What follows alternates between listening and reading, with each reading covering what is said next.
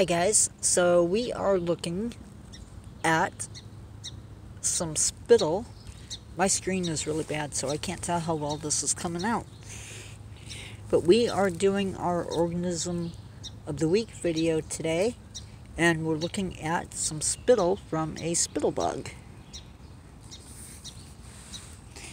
So inside the spittle there is a baby um, I don't know if it's showing up or not because they're pretty small.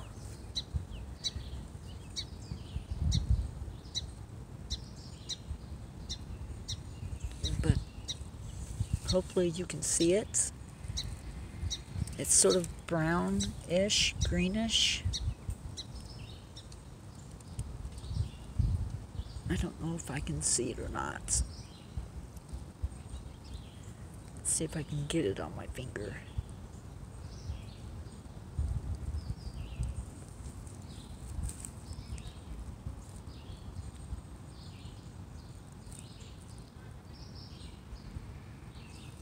Uh, there it is. I don't know how well it's in focus. But that's the little bug. I'm going to put it back on the plant. Because these guys dry out, dry out pretty quickly.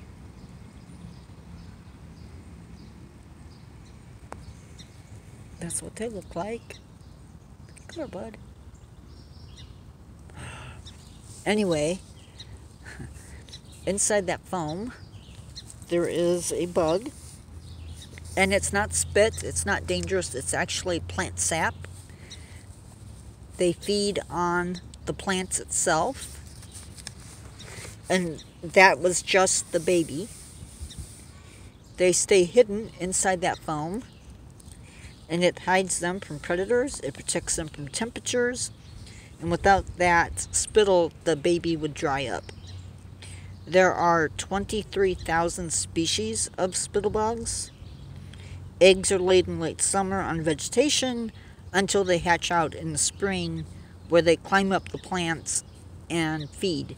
These are members of the Hymenoptera um, order of insects. They really don't do much damage to the plant itself except in extreme conditions. Um, they can, in rare instances, do damage to the plants. These guys are also, they come out and emerge. The adults will emerge in the end of May into June. But ours still seem to be pretty much babies. So anyway, um, that is my introduction to you on spittlebugs. Until next time, talk to you later. Don't forget to like and subscribe. Hopefully, um, I'll show you a couple more plants that are cut that have spittlebugs on them. There's another one here.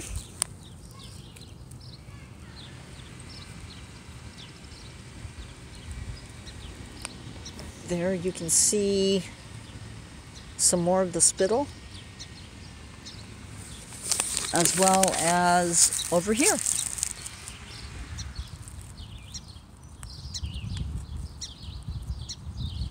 Hopefully you can see that.